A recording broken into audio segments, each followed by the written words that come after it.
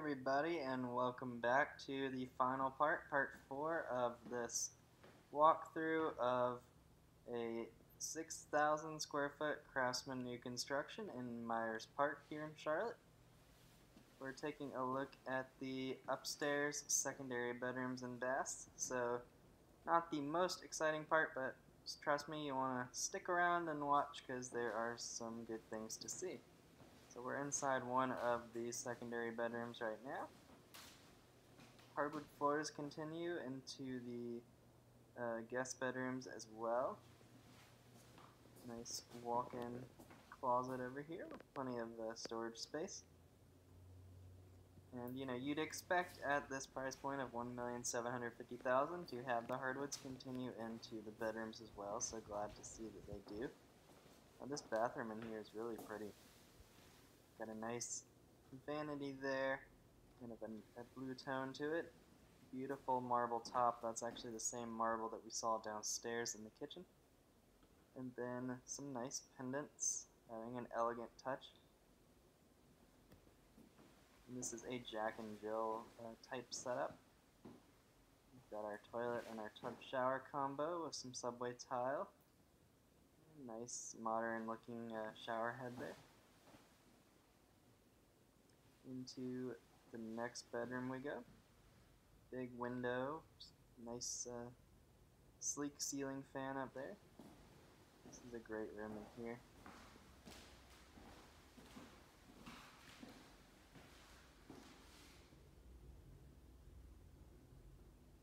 There is not a shabby secondary bedroom in this house, but I do like this one a lot. And got a walk-in closet.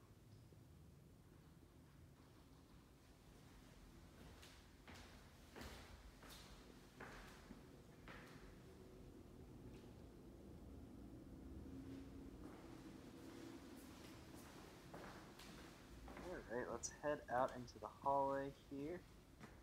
Look down and see the open landing area there. The central staircase. And then let's take a turn and look at this laundry room. Oh, look at the tile floors in here. This is great.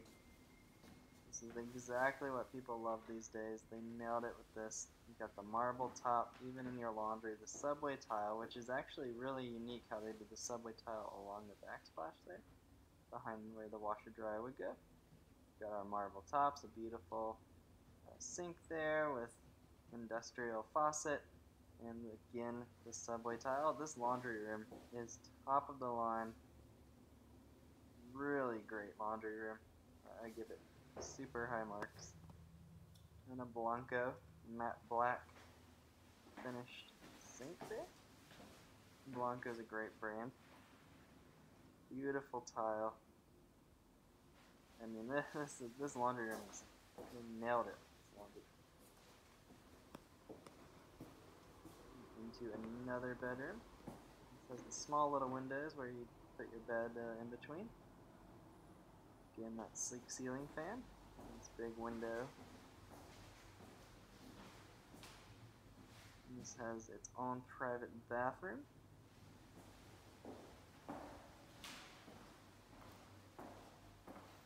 Nice floor tile. The marble tops continue into here. You've got a window right by your vanity, which is neat. And they went with a dark subway tile. Looks really sharp. I love the dark contrast with all the white in the bathroom. then needless to say, another walk-in closet. This one is very spacious.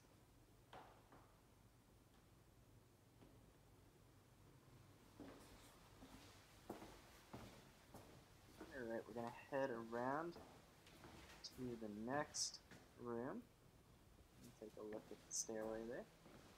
The wainscoting uh, trim up here is great. So here's our last of the secondary bedrooms upstairs. And this has some very funky navy blue uh, tile in the bathroom, but I think it looks really sharp. We'll take a close look at that in a second. hardwoods keep going as well. But look at these floors in here. Some really small circle tile there with navy blue color. Marble there on the vanity top, nice big vanity. And nice sleek uh, mirror and lighting there. Then some white subway tile around the uh, tub shower combo. I like that bathroom. It gives me a coastal vibe.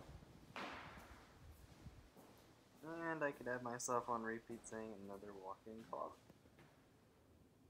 This one a little smaller than the rest, but still plenty of space. Got a neat little tiny uh, window up there that they threw in to add some extra natural light coming in. I love this grand uh, central staircase here.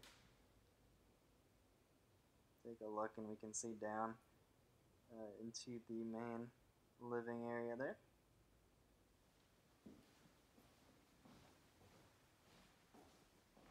And we loop around. Okay guys, I'm gonna head downstairs, take one final look down here. And that will conclude part 4 and all parts of this walkthrough. If you have not seen parts 1, 2, and 3, definitely check those out. Uh, you don't want to miss them. You get a full in-depth look at everything you're seeing right now. This amazing kitchen, um, and the full downstairs and basement as well. So again, this home is listed on the market right now for $1,750,000 in the heart of Myers Park. 6,000 square feet spread across three levels. Stylish features throughout. You guys, I give this home high remarks, high regards. I really like it, and I would recommend it if it's something that meets your criteria.